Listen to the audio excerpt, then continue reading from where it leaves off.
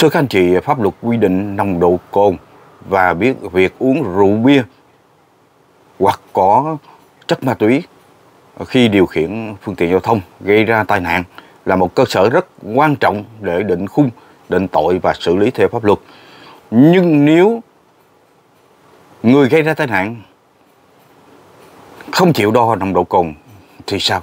Ờ, thực tế chúng ta thấy có như vậy.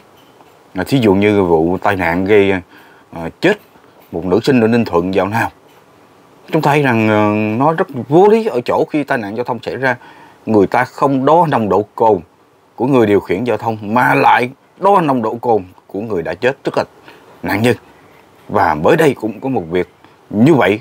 Và khi người gây ra tai nạn giao thông vốn là người có chức quyền từ chối đo nồng độ cồn. Thì các cơ quan chức năng cũng hầu như bó tay. Và nếu sau đó thì lập án, quy án đo nồng độ cồn, thì lúc đó đâu còn cồn đó mà đó. Và người gây tai nạn nói rằng mình không hề sử dụng ờ, mà rượu bia hoặc ma túy, thì cơ quan chức năng lấy cơ sở nào để xử lý người ta? Thưa anh chị tôi muốn nói đến vụ một cán bộ điều tra hình sự gây tai nạn nhưng không đo nồng độ cồn. Xảy ra mới đây thôi.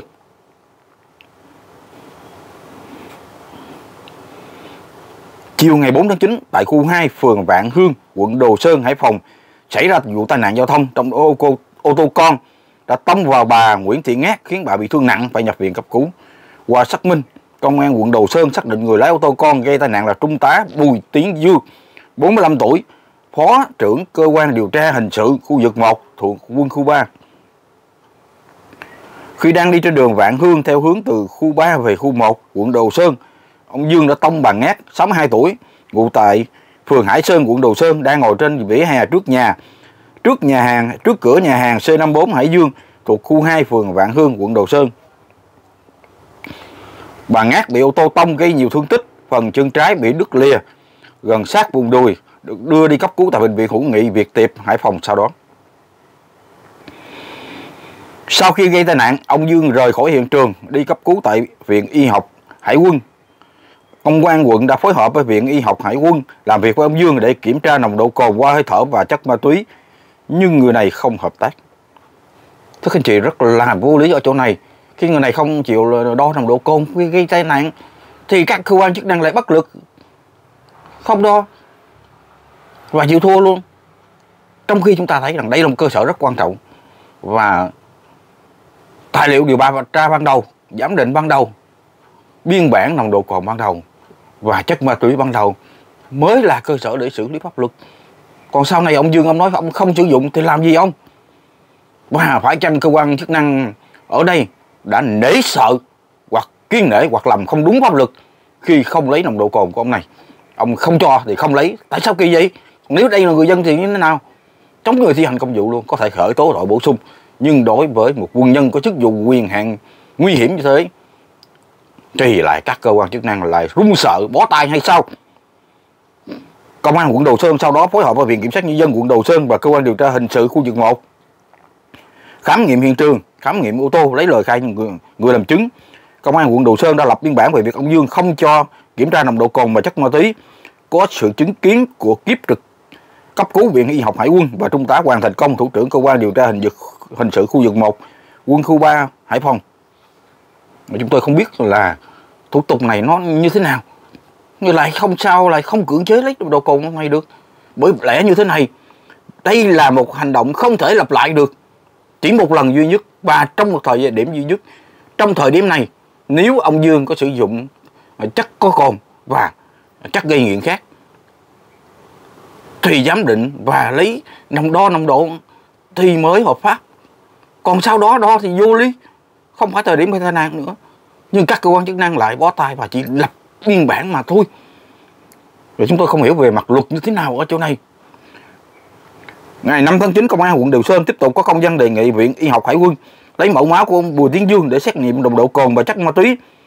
Viện này sau đó có công dân trả lời không xét nghiệm máu và xét nghiệm ma túy cho bệnh nhân, do các xét nghiệm này không thuộc chỉ định trong trường hợp cấp cứu.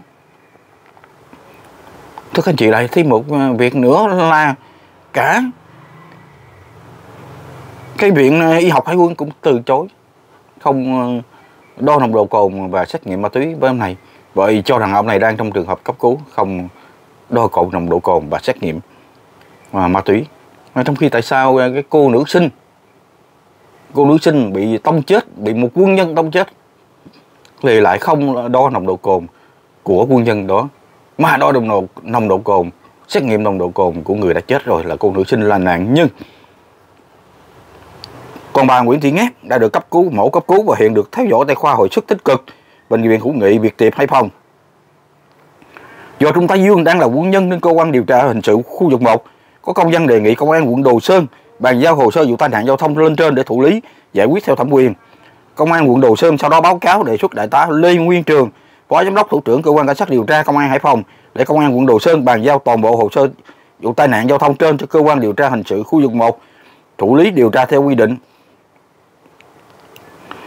Tức là lại chuyển hồ sơ cho ngay cái cơ quan mà ông này làm ông Hoàng Thành Công, thủ trưởng cơ quan điều tra hình sự khu vực 1 cho biết đơn vị đã chuyển toàn bộ hồ sơ vụ tai nạn giao thông cho phòng điều tra hình sự quân khu 3 là đơn vị cấp trên của đơn vị nhằm đảm bảo tính khách quan trong vụ việc.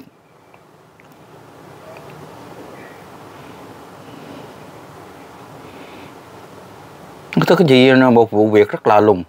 À, người gây tai nạn là một quân nhân và sau đó thì đã từ chối uh, xét nghiệm nồng độ cồn cũng như uh, đo nồng độ cồn như xét nghiệm ma túy rồi cơ quan chức năng cũng bất lực chỉ làm một biên bản thôi. Rồi sau đó đề nghị nơi điều trị của anh ta là viện ờ, quân y hải dương gì đó. Thì viện này cũng à, từ chối. Viện y học hải quân xin lỗi viện y học hải quân. Và viện này cũng từ chối. Không xét nghiệm gì cả. Lý do thì nói rằng đây không được chỉ định trong trường hợp cấp cứu. Rồi tiếp tục nữa. Công an lại lập biên bản và chuyển hồ sơ về cơ quan điều tra hình sự khu vực 1 thuộc quân khu 3 mà cơ quan hình sự điều tra hình sự khu vực 1 này, nạn nhân ở người gây ra tai nạn thủ phạm lại chính là phó thủ trưởng của cơ quan này, chuyển về cho cơ quan này điều tra. Rất may, quân đội kỷ luật rất nghiêm. Ông thủ trưởng đã chuyển hồ sơ lên cơ quan điều tra hình sự quân khu quân khu 3 bộ quốc phòng là cơ quan cấp trên để đảm bảo tính khách quan. Cũng còn may như thế về trường hợp uh, nồng độ cồn và chất ma túy nó có liên quan gì đến uh, hình phạt khung hình phạt gây tai nạn giao thông hay không xin thưa là có từ năm 2020 Điều 35 khoảng 1 điều 35 trong luật phòng chống tác hại của rượu bia năm 2019 quy định sửa đổi đã cấm mọi hành vi lái xe dưới tác dụng của chất cồn kể cả tham gia phương tiện đường bộ bằng phương tiện gì. Điều này có nghĩa là không ai được phép lái xe sau khi đã uống rượu bia. Việc vi phạm quy định này có thể xem là vi phạm giao thông và bị xử lý theo quy định pháp luật.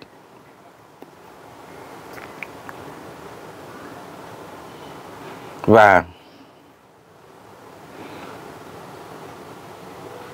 người ta còn quy định mức nào mức nào mức nào mức nào nồng độ cồn mức nào nồng độ cồn ở mức nào thì à, khung hình phạt hoặc là hình thức xử lý sẽ nặng hơn tức là nếu mà nồng độ cồn càng cao thì sẽ tương ứng với khung hình phạt cao hơn như vậy theo quy định thì người tham gia giao thông đường bộ trong tình trạng sử dụng rượu bia mà trong máu hoặc hơi thở có nồng độ cồn vượt quá mức quy định và gây tai nạn có thể xử bị phạt tù từ 3 năm đến 10 năm. Điều này chỉ áp dụng khi có sự vi phạm về an toàn giao thông đường bộ và có mức độ nghiêm trọng nhất định như làm người chết, gây thương tích nghiêm trọng hoặc gây tổn hại sức khỏe cho người khác.